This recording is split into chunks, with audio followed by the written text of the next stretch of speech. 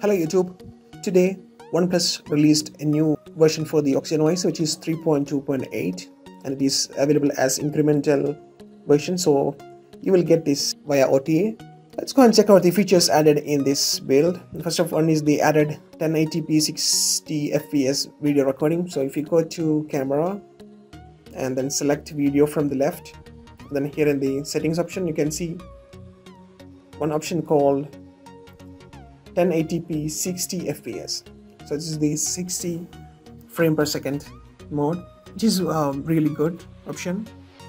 The next one is the added emergency calling for india which can be triggered using uh, power button. If you press power button three times it will be triggered. So here you can see it's triggering the emergency number. So this is how you can use that function Next one is the optimization of Snapchat, fixed video calling and scrolling tags.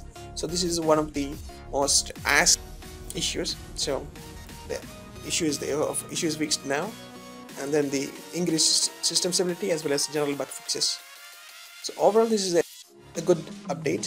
There are, there are not many features here, but this is a really good update. That is the 1080p 60 fps video recording and uh, this rom is really stable so i'll highly recommend this. So you can go and flash it or you can wait to get the update.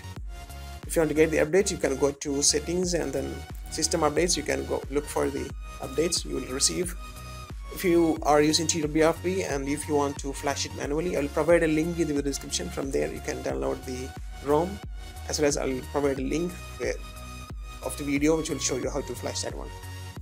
That's it guys. Thanks for watching. Please subscribe for more